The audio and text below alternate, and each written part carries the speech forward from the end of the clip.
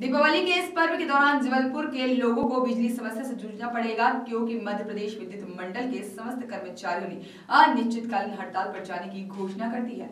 उनका आरोप है कि पावर मैनेजमेंट कंपनी उन्हें प्रदेश सरकार द्वारा घोषित आठ डीए का भुगतान और वेतन के इंक्रीमेंट 50 प्रतिशत एरियाज़ देने की घोषणा अक्टूबर माह के वेतन के साथ की गई थी। वहीं उन्हें प्रदान नहीं किया गया है, इसलिए वह एक नवंबर से अनिश्चितकालीन हड़ताल पर जा रहे हैं। जब तक उनकी पाँच सूत्रीय मांगे पूरी नहीं की जाती, तब तक उनकी हड़ताल इसी तरह चलती रहेगी। जनता को होने वाली परेशानी के लिए सरकार स्वयं जिम्मेदार होगी।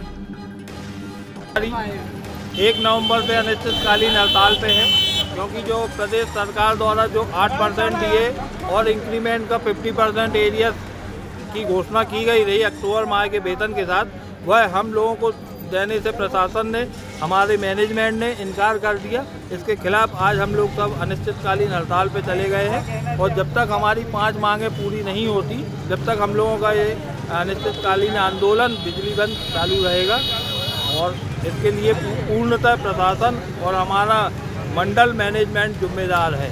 इस आपका नाम बता दें। एस के पचौरी जिला संयोजक जबलपुर अध्यक्ष फेडरेशन जबलपुर।